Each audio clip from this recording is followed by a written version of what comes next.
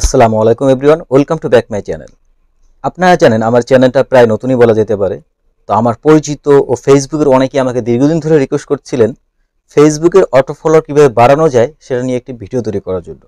তো ফাইনালি আজকের এই ভিডিওতে আলোচনা করতে যাচ্ছি অটো ফলোয়ার নিয়ে। আর এই অটো ফলোয়ার আমাদের অ্যাকাউন্ট বা পেজের জন্য কোনো প্রবলেম ক্রিয়েট করে কিনা, সেই সব নিয়ে আজকের এই ভিডিওতে বিস্তারিত আলোচনা করব। ভিডিওটি সম্পূর্ণ মনোযোগ দিয়ে দেখুন। দেখুন ম্যাক্সিমাম লোক ফেসবুক অটো ফলোয়ার নিয়ে থাকে বিভিন্ন ধরনের অ্যাপস বা সাইট থেকে।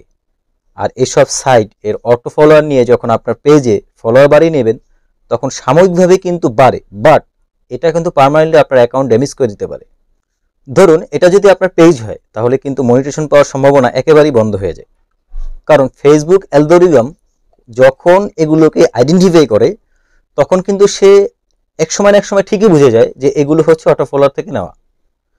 কারণ এগুলোর কোনো অ্যাক্টিভিটিস থাকে না।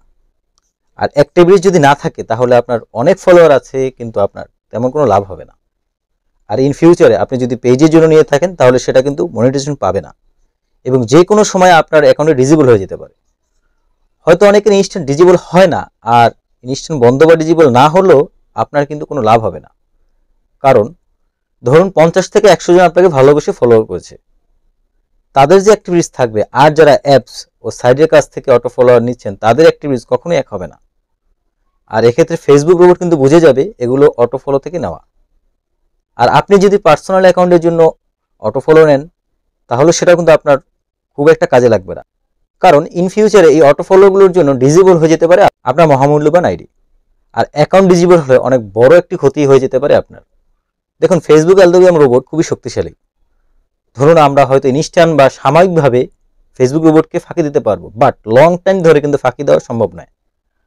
তো আমি আপনাদেরকে বলব যারা এই অটো ফলোয়ার বাড়ানোর চিন্তা করছেন বা টাকা দিয়ে ফলোয়ার কেনা চিন্তা করছেন, তারা অবশ্যই এই কাজ থেকে বিরত থাকবেন।